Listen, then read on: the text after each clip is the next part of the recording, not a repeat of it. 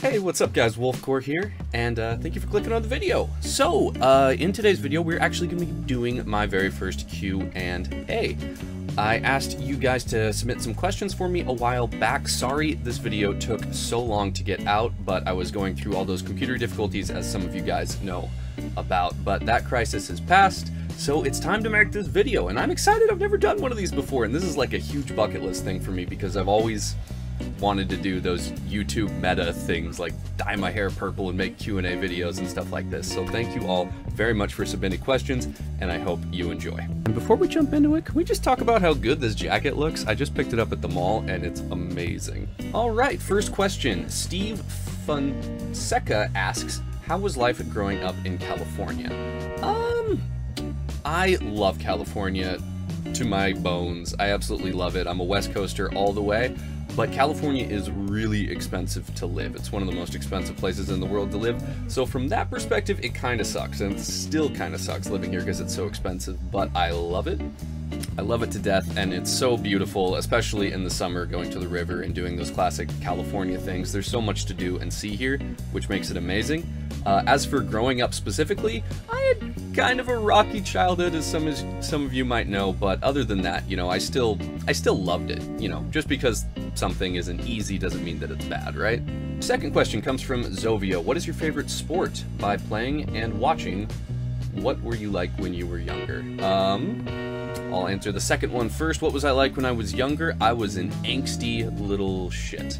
I went through a lot of different phases. I went through like an emo scene, goth phase for the majority of middle school and high school. That was pretty much my thing. I was very shy and reserved for the latter half of my schooling, uh, but when I was younger, before I got into the emo scene thing, I was, like I said, an angsty little shit. I was I went to a private Christian school and I wasn't the most popular kid, so I pretty much felt picked on, and my nerd friends, I felt like they were picked on, so I was kind of like a bully of bullies. Uh, at least that's how I remember it being. I'm not sure how accurate that was to uh, to other people's perspectives, but uh, what is my favorite sport? I love watching football, uh, American football. That is not we call it not soccer, not soccer. Um, in case you live across the pond, that gets a little confusing. But I love watching American football. I also love playing it. I'm a pretty decent thrower and uh, even faster runner because I run a lot.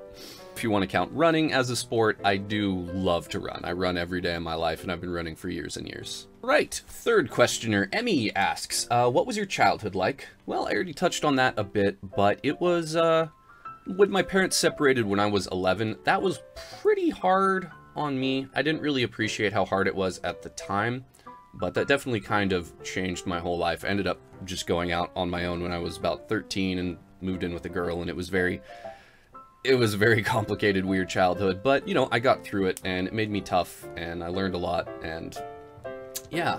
Um, uh, she also asks, what's your favorite season? Fall. Fall all day. I freaking love fall. I'm a basic bitch when it comes right down to it. I love pumpkin spice lattes and sweaters, and if I ever wore Ugg boots, I'm sure I would love those too.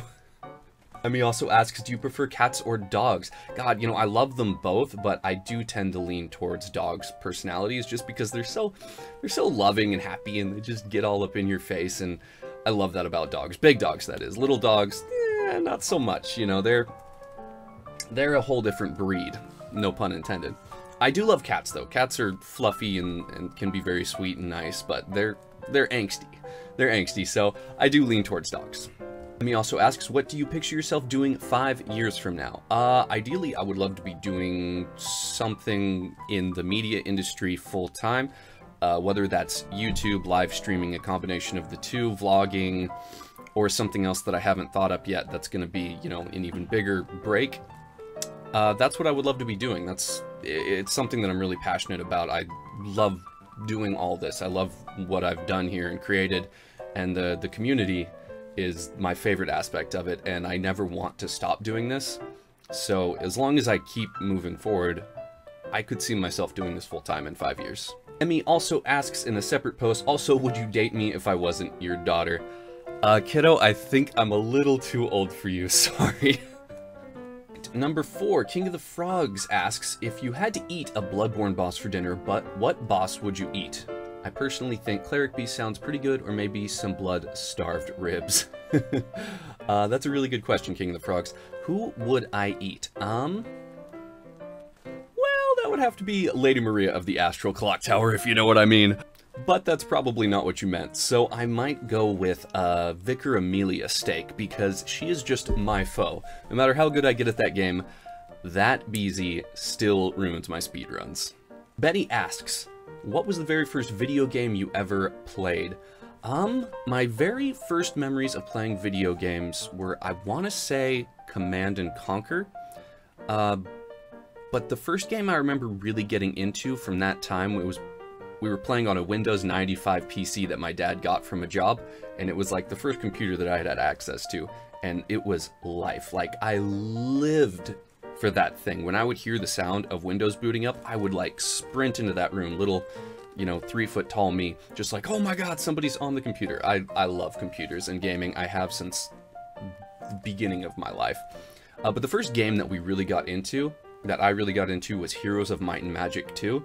It was like a turn-based strategy game. It was it's kind of hard to explain. You don't really see games like that these days too often, but it was so much fun. I loved playing Hot Seat, which is sort of like LAN, uh, with my brothers and my dad. Up next, uh, we've got Cass asking, what's your number? Not gonna tell you. But JKJK, who's the most sexiest celeb, male or female, or both? Hmm, that's a good question. Uh, for female? Ah, tough. Um, I want to say it's a tie between Keira Knightley, Kate Beckinsale, and Emma Watson. I've loved them all for a long time, and I just I just can't choose. They're all so amazing. As for guys, uh, I got to go with Tom Hardy. I oh Tom Tom Hardy. Oh, I love me some Tom Hardy. Billy Deerhead has a whole long list for me. Uh, so first, how long have you had that beard? I want to say I've had this beard for eight or nine months now. I didn't just check. I started growing this beard the day I actually got this uh, condenser microphone working because I had been struggling with that for months and months and months and I couldn't seem to get my audio set up to function correctly. And I finally did that, and that was when I felt like I was really coming into YouTube for the first time because I finally had a studio. It's grown and developed a lot since then, but that was the first real step to starting my studio. That's when I started growing my beard, and that's when I made the promise that I wasn't going to shave my beard until I hit 10,000 subscribers. And we're getting some good length, and we're still a fair distance off from 10,000, but we're getting there. We're definitely getting there. Uh, up next, he asked, what did you, uh, why did you start your YouTube channel? It was something that I'd always wanted to do, uh, but if I had to give credit to another creator, it would have to be MF Pally Time. A lot of you know that he's been my favorite YouTuber for years and years and years and I started watching him back in 2012, 2013, back then, and he was just so down to earth. And when he would, you know, talk and open up to his audience, I just felt this great connection with him. Just like, wow, you and me seem so similar. Like, if you could do that, why couldn't I? And then I was like, maybe I just should. So that's when I started setting into motion plans to make this happen, and it took a lot longer than it should have, but I finally got off my butt and started it. Uh, Billy also asks, do you have any big plans for the channel? Absolutely. I would love for this to be a full-time thing that I do for many, many years and love to see this develop into other bigger, broader things that I can't yet conceive of. I really would like this to be a big YouTube channel, a big community, not like for money's sake, but just because I want to be there for as many people as I can, and I just, I just want to see how big we can make this community. And I would love to get over a million subscribers someday. Obviously, that's a very distant, lofty dream right now. But you know what I mean? Like, you're never going to hit your goals if you don't set them high, right? So, yeah, that's, you know, I do have big plans for the channel. And uh, I've always got more stuff going on in my head that I'm actually doing on the channel just because every project takes a lot of time and effort to implement. So there's always more going on up here than, than is actually happening, so know that there's a lot more exciting new stuff to come. Like this video. This is a, this is a new a new step for me, a new a new thing for us to do.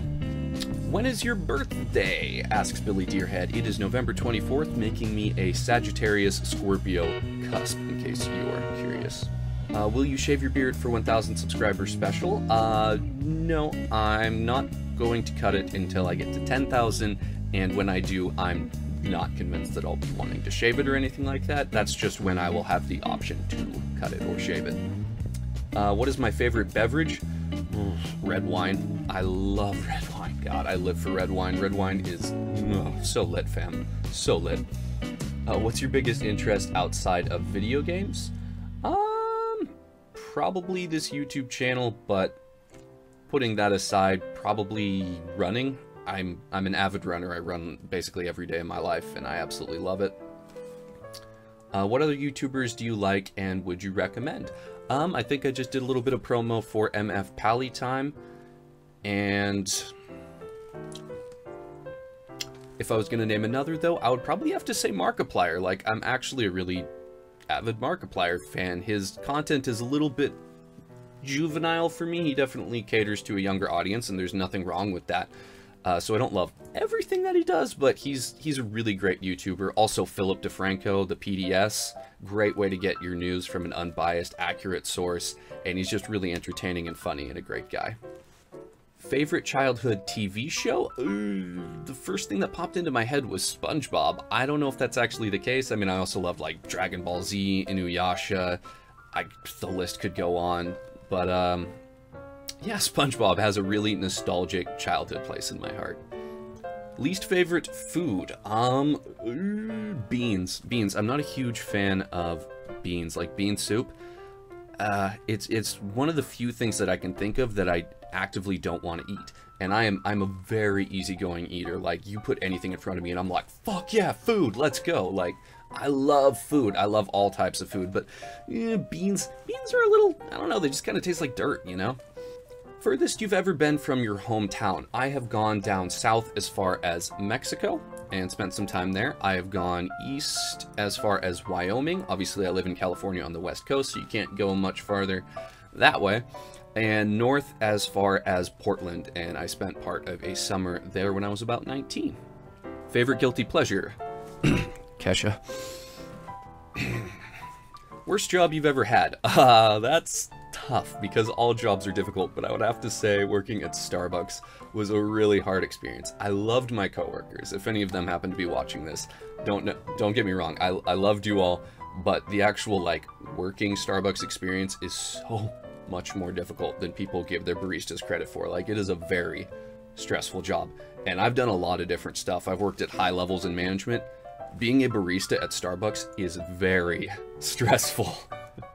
so bear that in mind if you're thinking about applying there for your first job. It's a good job. You'll meet amazing people, but it's stressful as fuck. Dumbest or and or most embarrassing thing you've ever done or been through? Um as for embarrassing, I would have to say any time I've ever tried to ask somebody out, like, oh god, oh, it's just so, it's so difficult.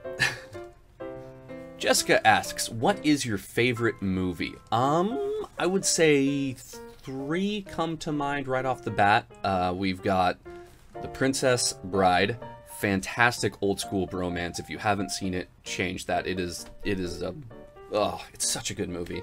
Uh, V for Vendetta, I am in love with. I love the character V. You can see my V poster right back here. The Guy Fawkes mask. And of course, uh, Hot Fuzz with Simon Pegg and Nick Frost. It's a British comedy. It's so funny. They're the same guys that were in Shaun of the Dead, if that helps. Uh, definitely watch it if you haven't yet. It's so funny. British humor is just amazing. I love those guys. They're fantastic. Which ride at Disneyland is your favorite? Uh, I've only been to Disneyland once and I was quite young and I don't really remember the rides to be honest, so I can't really answer that. But hey, if you want to send me to Disneyland at some point, I would love be able to answer that question more honestly. Uh, what do you do when you're not playing video games or working? Uh, the basically 80% of that time is spent uh, working on the channel, assuming we're not talking about sleeping here, because I do a fair amount of sleeping and I love sleeping. Um, but when I'm not working on the channel, which I do put a lot of time into, I love running and I love hanging out with my friends. We usually like to drink and chill and have little kickbacks and stuff like that. If you could travel anywhere in the world, where would you want to go? Um, I would love to visit so, so many different places. Like many people, I have that travel bug where I just want to get out there and experience all these different cultures. But I've always had this inexplicable desire to visit India. I don't know why. It's just the the cultural differences just seem so fascinating to me, and it's such a beautiful place when you look at photos and whatnot. I would just love to, to see India. Womp. Okay. Uh, Non-gamer asks, you should do a super cheesy two-minute short of Guess What's in Wolf Wolfgore's Beard so we can play at home when you're not around. Sometimes I play What's in Wolf Wolfgore's Beard with my Wolf Wolfgore mannequin head, but it's just not the same. I don't know if that's a question, but I'm gonna do my best. Uh, so let me give you a hint. It is blue, and it is made of plastic. Feel free to leave your guesses in the comments below, and I will make sure to give a big old heart to the person who gets it right.